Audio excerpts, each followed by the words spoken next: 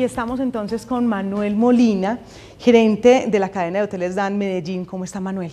Bueno, Paola, mucho, muy bien, muchas gracias y un saludo cordial y un feliz año para todos los televidentes. Y arrancando este 2009 lleno de éxitos de 2008, ¿no? Sí, finalmente en medio de que todo el mundo se quejó y en el cual yo no compartía que las empresas y los empresarios colombianos se nos pagaran la enfermedad de quejarnos, pues porque a la mayoría no fue bien. Creo que ese es el tema, que terminamos un año muy exitoso para los hoteles Belfort, Dan Carlton y el San Fernando Plaza. ¿Cuánto lleva ya en los hoteles? ¿Más de 10 años? Sí, yo estoy ya camino, supero los 12 años, voy camino a los 13, de modo que me tocó desde la construcción en obra del primer hotel aquí en Medellín, que fue un regalo de traer el hotel más importante en los últimos años en Colombia. Bueno, llega 2009 con una cantidad de retos, por ejemplo, como la de la Asamblea del Banco Interamericano de Desarrollo, ¿no? ¿Cómo se prepara el DAN para esa fecha? A ver, básicamente creo que el, que el DAN está preparado siempre para recibir cualquier tipo de grupos, eh, pero lo de la Asamblea es algo extraordinario, primero por los 50 años, por lo que significa el tema de la llegada de la banca mundial en el momento del crisis, de la crisis mundial, y adicionalmente, pues hace dos años y medio nosotros hicimos contacto con todos los operadores internacionales con el BID y obviamente estamos en línea directa con Mateo y la gente que está trabajando del lado de él para que obviamente apoyemos todo lo relativo a lo de la asamblea y que los hoteles hagan una presencia y, una, y un posicionamiento, lo que eso significa para Medellín y el mundo. ¿Cómo es un día de Manuel Molina en Hoteles Dan? Sí, a ver. ¿A qué horas arranca? No, generalmente arranco, mm, salgo de mi casa a 6 de la mañana, a 6 y media estoy desayunando con algunos de los funcionarios en algunos de los hoteles. Eh, paso de hotel en hotel. Eh, estoy de pronto primero en el, en el Dan Carlton Medellín, después hago contacto con el Belfort, luego estoy en el San Fernando Plaza y de alguna manera pues voy organizando como todo lo del día, todo lo de la semana, todo lo del mes y voy, obviamente estoy muy metido en la parte que es la que manda hoy, que es el tema de mercadeo, de publicidad. Como todos sabemos, el mercado y la publicidad son carreras sin fin. Y ahora en este, en este momento, para el 2009, pensamos que es donde, cuando todo el mundo, vuelvo y repito, habla de recortes, nosotros estamos hablando es cómo potencializamos el tema de mercadeo, cómo somos más agresivos en el tema publicitario y cómo hacemos más presencia en la mente del cliente. O sea, estamos pensando un poquitico diferente a lo que están pensando muchos empresarios en Colombia. ¿Cuál es ese sello personal? ¿Será ese positivismo? ¿Será esas ganas, el trabajo? ¿Qué es lo que hace que Manuel Molina hoy sea uno de los hombres, digamos, codiciados en el sector hotelero, por así decirlo?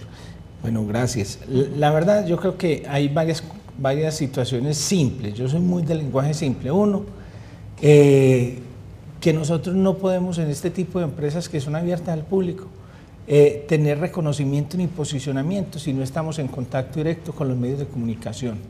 Segundo, que para nosotros es fundamental que la gente que trabaja con nosotros, el equipo de trabajo, trabaje con felicidad. El que trabaja feliz puede ser exitoso.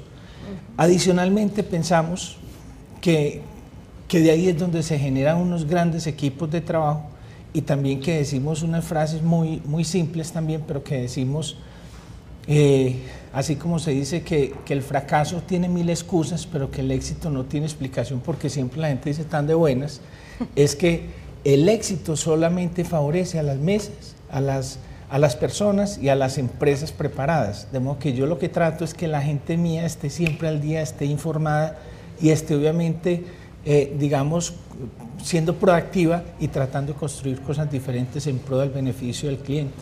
¿En cifras cómo le fue en el 2008? A ver, en cifras eh, nos fue superante bien.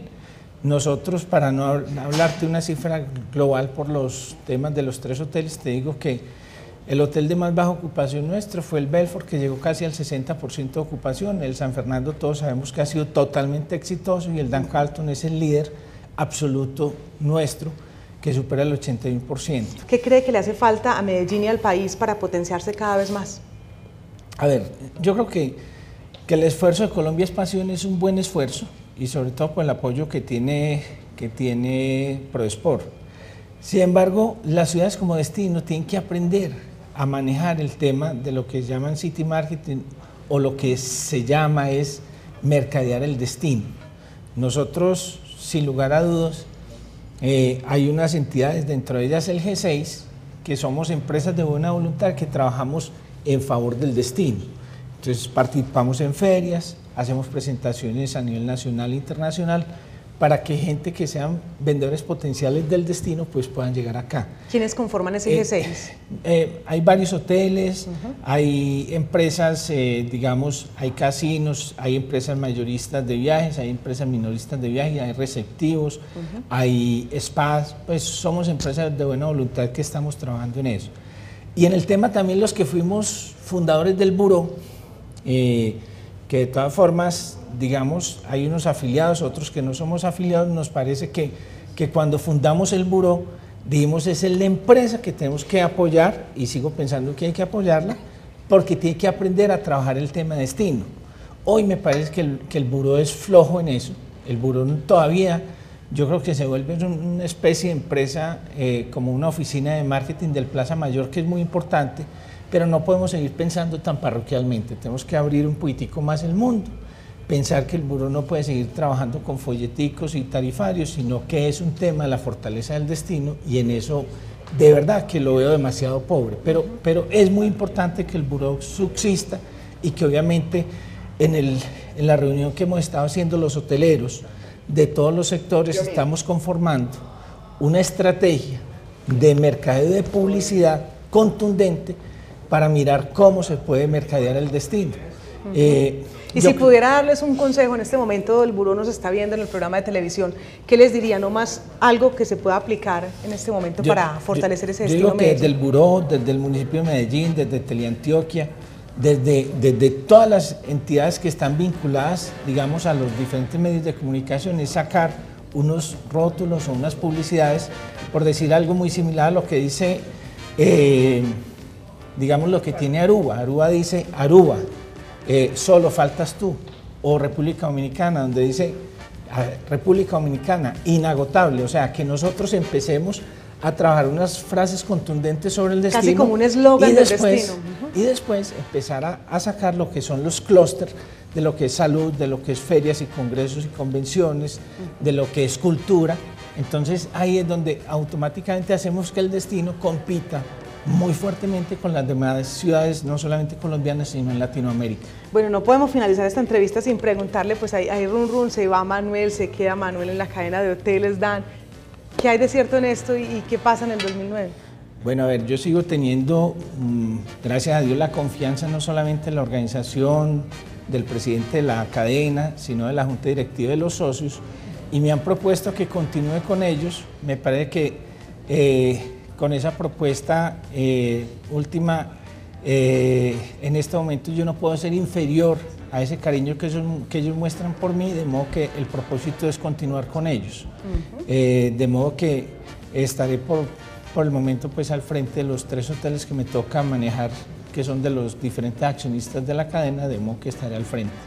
Bueno, Manuel, muchísimas gracias por habernos acompañado.